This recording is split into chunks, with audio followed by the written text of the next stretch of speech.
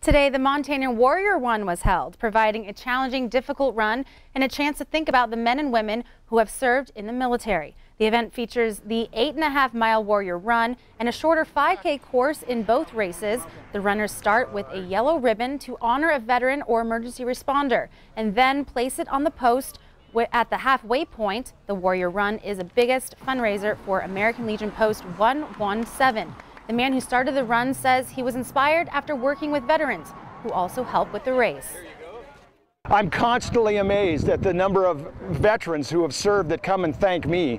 And it's just very humbling. And, uh, you know, I, I, just have so much gratitude for these guys that come out. They've all got somebody that they're running for. It's kind of a visual of how many people serve our community, serve our nation. When they go to put that name on there and they're up there at Yellowstone Kelly's site and uh, it's a real, it's kind of ceremonious.